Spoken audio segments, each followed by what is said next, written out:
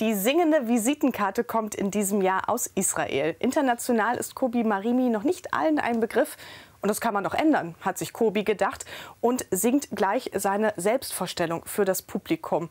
So praktisch und so gut. Mit dieser biografischen Abhandlung will er für sein Heimatland und für das Gastgeberland Israel antreten.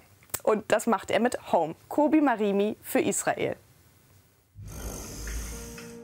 Counting down the minutes from the ticking clock.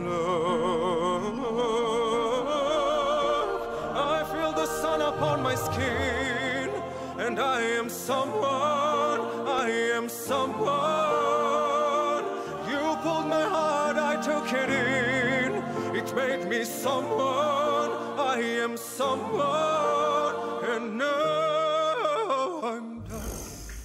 Kobi Marimi kommt sehr, finde ich, sehr vornehm, sehr höflich rüber. Und ich finde es auch höflich von den Israelis, dass sie bei ihrem eigenen Triumph die große Bühne anderen überlassen. Ja, das kann man wirklich sagen.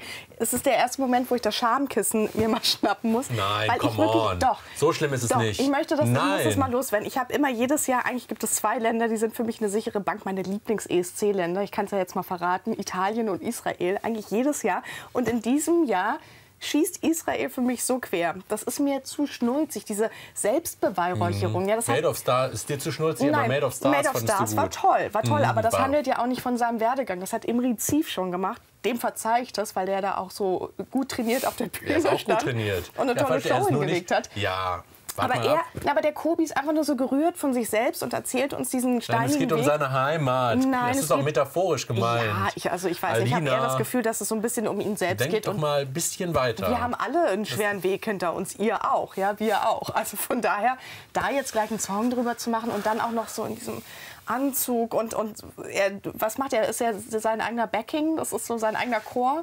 Was singt Nemena nochmal? Die Nacht ist lang, es ist traurig ohne dich. Das fandst du toll, ne? Übrigens, ja, toll. Ähm, wir haben so aufmerksame User, müssen wir nochmal sagen. Ja. Es war natürlich nicht 1997, wo sie angetreten ist, sondern 2007. Ach ja, beim Junior Eurovision. Ja, Entschuldigung, ich habe sie zehn Jahre älter gemacht. Das tut mir leid. Kommen wir mal zurück zu Kobi. Ja. Ich bin wirklich sehr traurig. Ich hätte mir auch ein Lied in Ivrit gewünscht, auf Hebräisch, in Israel. Das wäre die Chance gewesen, vertan. Und ich weiß, dass ich nicht alleine dieser Meinung bin. Herzlich willkommen zum Eurovision Kitsch Contest. Das trieft richtig. Ein Musical-Song, eine dramatische Ballade. Ja, man muss das mögen. Und äh, ich bin gespannt, wie viele Leute das beim ESC mögen werden. Gute Ansätze, aber nicht gut ausgeführt. Ich finde es auch nicht super klasse, aber ich finde, ich kann es gut hören. Stört mich nicht. Ja, es stört nicht. Das ist das Problem. Es stört nicht. Kobi Marini hat eine sehr außergewöhnliche Stimme. Er hat immer so eine arabische Koloratur drin. Deswegen war ich sehr überrascht, dass er den Song auf Englisch singt. Sein Englisch ist nicht gut. Das klingt blöd. Ich bin da eher skeptisch. Die Entscheidung, das auf Hebräisch zu singen, wäre die schlauer gewesen, meiner Meinung nach. Es gibt sozusagen mit diesem Lied von Kobi Marini gibt es die erste Message, die da lautet, wir wollen nicht wieder gewinnen. Aus Israel bekommen wir dieses Jahr das klassische Lovely Horse. Also Lovely Horse kennt man in ESC-Kreisen als einen Song, der geschickt wird äh, vom Gastgeberland, um bloß nicht nochmal gewinnen zu müssen. Ich finde, das ist auch dem Künstler gegenüber nicht fair, weil der wirklich gut ist und jetzt muss er halt mit so einem drögen Lied äh, sein Land verteidigen. Ja, schade. Also eine harte Zeit für Israel, die ja aber auf jeden Fall im Finale sind, denn sie sind ja Gastgeber. Und ich freue mich auf eine hoffentlich Startplatzierung im Mittelfeld, weil da kann man definitiv pinkeln gehen. Platz 14, lieber Konzi, kannst du dir schon mal merken. Äh, dein Wunsch wird erfüllt. Und danke, Thomas. Ja, auf Hebräisch wäre es toll gewesen. Und es ist, ist, einfach zum Weinen. Es ist so weit weg von toll. Konnte das denn passieren? Er ist doch ein toller Typ, er ist ein toller Sänger. Jetzt auf einmal findest du ihn doch gut. Na, ich, ja, ihn an sich, die Stimme ist toll. Da ist, hätte man so viel machen können. Ja, das finde ich auch. Also die Stimme ist toll, es ist zumindest ein außergewöhnlicher Song. Ja. Äh, ein außer, außergewöhnlicher Sound, wollte ich sagen. Der Song ist, jetzt Der Song nicht so ist sehr außergewöhnlich. Nein, ja, aber wie er singt, er hat irgendwie einen Ausdruck, er verkörpert irgendwas. Also ich finde, es gibt auch Argumente dafür, dass dieser Song nicht ganz so schlimm rüberkommt. Und auch da bin ich nicht allein. This is so beautiful. This is musical theater realness. There's literally no production. It's almost like he's singing a cappella. Er ist quasi die fünf Tenöre, kann man das so sagen? 360 degrees in four split screens. It's truly amazing. And what you see is a man who wants you to come home. Ja, ich mag die Stimme. Auf jeden Fall. In the music video, what I love is the whole time he's so serious, telling us that he's someone. I'm someone. I am someone. I am someone. Ich denke mir, ja, irgendwie hat das schon eine Größe und das kann man auch schön inszenieren. Das wird natürlich nicht gewinnen, aber es wird vielleicht auch mal nicht letzter werden. Das ist ja auch schon mal gut für einen äh, Host, nicht letzter zu werden. Fragen Sie mal in Portugal nach. And then at the end, he finally smiles. He's coming home. I'm coming home.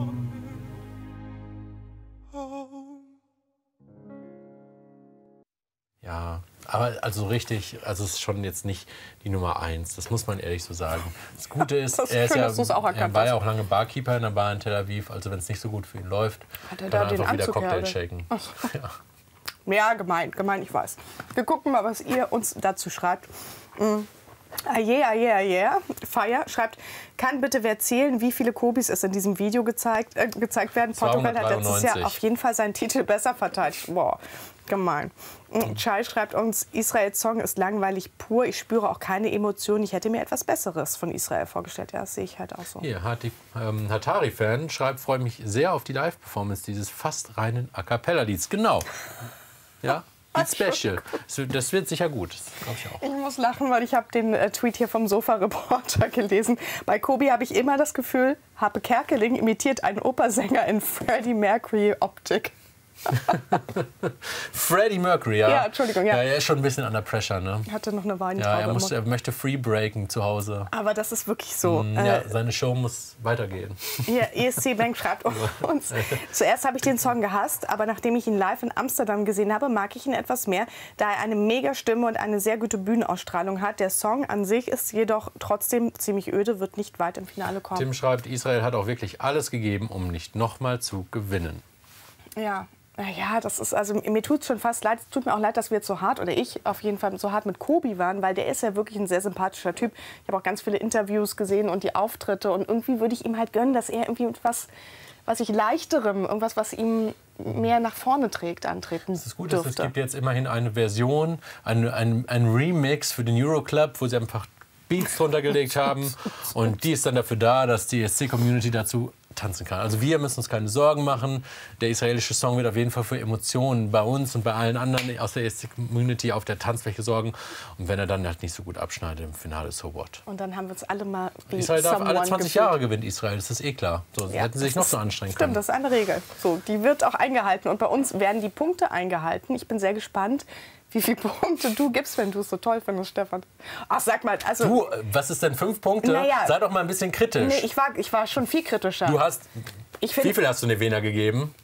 Sechs Mehr Punkte. Sieben Punkte, glaube ich sogar. Na, ihr wisst es im Zweifel besser. Wir gucken gleich noch mal nach. Trotzdem, ja, fünf Punkte. Ich finde ihn gesanglich ja auch nicht so wahnsinnig schlecht, aber ich finde einfach das Ganze drumherum theatralisch. Egal, du gibst auch fünf Punkte und das sind gut gemeinte fünf Punkte. Sehr interessant. Und unsere äh, Community, die vergibt 4,9 sind Punkte für Israel. Eins.